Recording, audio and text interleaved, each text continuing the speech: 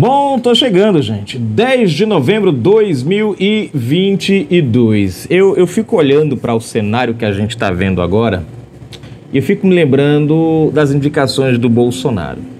Toda vez que o presidente Bolsonaro indicava alguém, a mídia sempre achava um meio de ligar essa pessoa ou a um partido para criticar, ou a um amigo para criticar. Ah, não, fulano indicado em tal lugar era amigo pessoal, não sei o que, não sei o que lá. Ah, fulano indicado não sei aonde era amigo do filho. Agora, gente, nós estamos vendo o apadrinhamento descarado, porque a mídia fazia ligação, aquela coisa do não, fulano indicado pro Bolsonaro para ficar no ministério lá na secretaria tal, é cunhado do primo que é vizinho da irmã do rapaz que é casado com aquela menina que mora na rua de baixo, que é parente daquele outro dono da quitanda que é amigo de Bolsonaro. Faz, eles fazem essa rodada todinha para dizer que o cara era amigo de Bolsonaro, tinha uma ligação com o Bolsonaro. Agora nós estamos vendo o apadrinhamento descarado do governo Lulita e os colegas, os amigos, os compadres sendo indicados aos cargos e a mídia sequer toca no assunto. E quando fala, é num tom de elogio a nossa mídia brasileira é uma, não toda, gente, não toda, mas em boa parte, é uma vergonha. Vamos aos comentários que a gente vai falar agora sobre uma dessas indicações interessantes de Lulita. José Aparecido do Couto, meu amigo, é só ler o relatório com calma e procurar entender o que diz. Exatamente. Se o cara ler o relatório com calma, ele vai entender exatamente o que as Forças Armadas estão dizendo ali. E não são atestando a caixinha preta. Com 14 assinaturas, senador pede impeachment de Moraes e investigação baseada no relatórios, no relatório da FFA. E o mais interessante, o, o, o José, é que as Forças Armadas deram todas as todos os direcionamentos, tanto para o povo quanto para o Congresso, abrirem investigações, né? Deixou o negócio prontinho.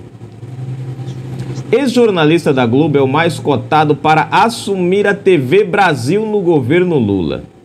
Ex-jornalista da da Globo, gente. Prestem atenção. Aí. Não mudou muita coisa. Ex-jornalista da Globo. Agora, observa bem, se fosse um amigo de Bolsonaro. Ah, agora parece que melhorou um pouco. Agora, se fosse Bolsonaro que estivesse fazendo isso agora, menino, isso ia estar tá em tudo quanto é biboca de jornal. Quem é o cara que vocês acham aqui que vai, que, que a gente está falando? É o mesmo cara que deu a, a, a, aulas ao Lula de, do, do, do, da, das entrevistas que foi lá e, e, e, ensinou a Lula, você fala isso, você faz assim, tá, tá, tá, tá, tá. Bom, se você não é inscrito no canal, se inscreve agora mesmo, ativa o sininho das notificações, marca aí a opção receber todos os vídeos, comenta, compartilha, deixa o seu like. Na descrição tem chave Pix, tem conta bancária. Tem o nome dessa galera maravilhosa que colabora com a gente. Obrigado pelo carinho de vocês. Seja um patrocinador. Se você ainda não é, patrocine o nosso canal. Nossa live todos os sábados às 21 horas. Você que participa sabe. Comentou, a gente lê. Nenhum comentário fica de fora aqui. E na descrição, no finalzinho, você vai encontrar também links dos nossos canais, mais o link de convite para o Telegram, o nosso grupo do Brasil Notícias lá aonde quem perdeu alguma coisa por aqui, bom, lá não vai perder nada, porque a gente todos os dias posta lá o que foi trazido aqui pro pessoal. Vamos a, aqui a, a, matéria agora, gente, para a gente ver o que o pessoal tá aqui falando, né? Ou melhor, a matéria, né? Olha só, fora da Globo desde abril, após 32 anos de contrato, Chico Pinheiro tornou-se o nome mais cotado para assumir a EBC, Empresa Brasil de Comunicação, durante o governo Lula, a partir do ano que vem. É engraçado que tudo que Bolsonaro queria fazer na EBC era criticado. É porque o Bolsonaro. Tudo que o presidente queria fazer era criticado, gente. Essa é a nossa mídia. O conglomerado público é formado por um conjunto de rádios, uma agência de notícias e a TV Brasil, né? O nome do jornalista que recentemente comandava o Bom Dia Brasil é o que mais agrada a cúpula, responsável pela campanha do futuro presidente, que já tem falado abertamente em reuniões sobre essa possibilidade. Olha só, hein? Vai ganhar o prêmio, Chico. Chiquinho. Né? Você vê, o cara vai, né? Tem mais alguma coisa aqui, gente? Chico foi forte apoiador de Lula à presidência e nunca escondeu suas preferências políticas nas redes sociais, mesmo antes da disputa eleitoral.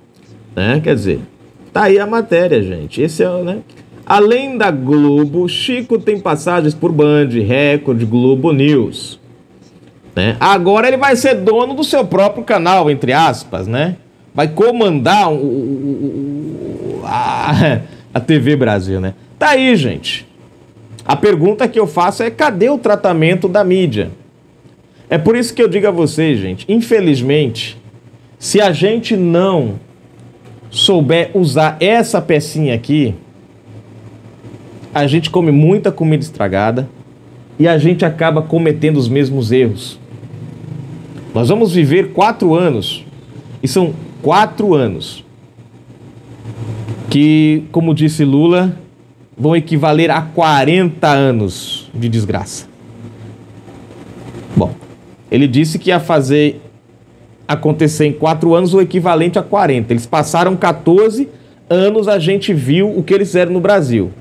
Se ele promete espremer 40 anos de um governo dele, do PT, em 4 anos, então pode pegar esses 14 e multiplicar por 3. A desgraça vai ser essa.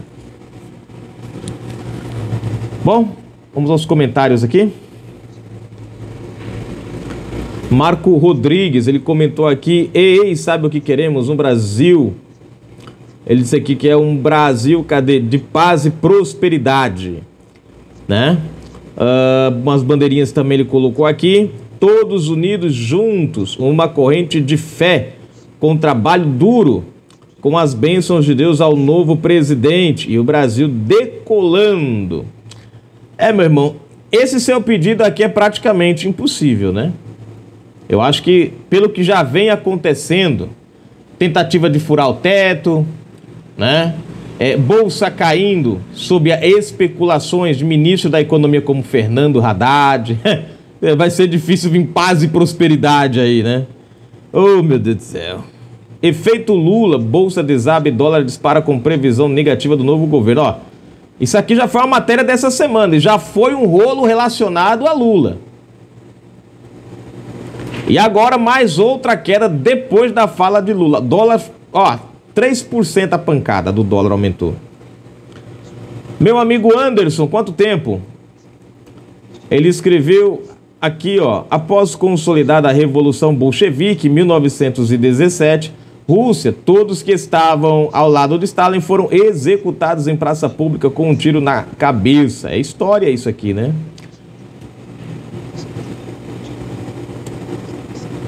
Né?